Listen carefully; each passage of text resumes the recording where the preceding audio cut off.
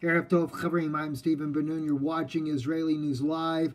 Uh, Ryan Saavedra is actually posting uh, a little bit of video footage here in Colorado, Thornton, Colorado. There has been a shooting at a Walmart there.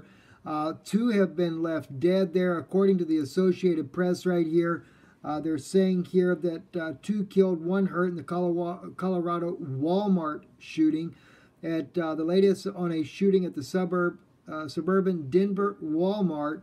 18 p.m. local time, Denver, Colorado. Police say two men were killed and a woman was injured in a shooting inside the suburban Denver Walmart. Thornton police tweeted Wednesday night they were responding to a shooting with multiple parties down. They advised people to stay away from the area as dozens of emergency vehicles converged at the store. Multiple people described the hiding in Walmart before being evacuated by police. Investigation have not released any details about the circumstances of the shooting or the condition of the injured people. I'm Steven Ben-Noon. We'll update you more, guys, as we find out more about this story. Erev Tov.